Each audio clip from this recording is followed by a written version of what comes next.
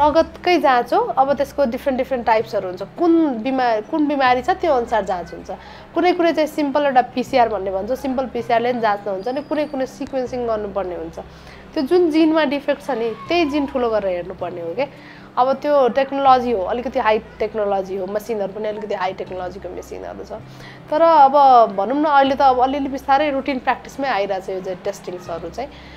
एकदमै गाह्रो त होइन। तर जस महँगो पर्ने भएकोले गर्दा अफोर्ड नगर्ने बिरामीहरू धेरै हुन्छन् कि।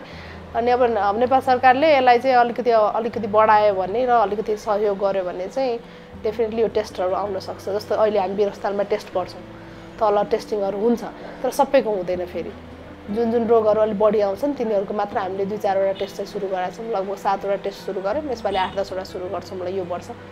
त्यो हो। र अर्को कुरा चाहिँ म्यान पावर पनि कमीले गर्दा अलिकति कम छ। तर रग रगतबाटै जाँच हुन्छ। रगतबाट बोन म्यारोबाट र टिस्युबाट त्यहीबाट जाँच हुने हो। जाँच कुनै अरू कुरा। यसको झन् सजिलो छ। एकदमै कुनै पनि कुराको जाँच रगतबाटै हुन्छ क्या। केही तपाईँलाई कहिलेकाहीँ त हामीले टिस्यु निकाल्न पनि गाह्रो हुन्छ। नि त्यस्तो टाइममा पनि रगतबाटै जाँच हुन्छ।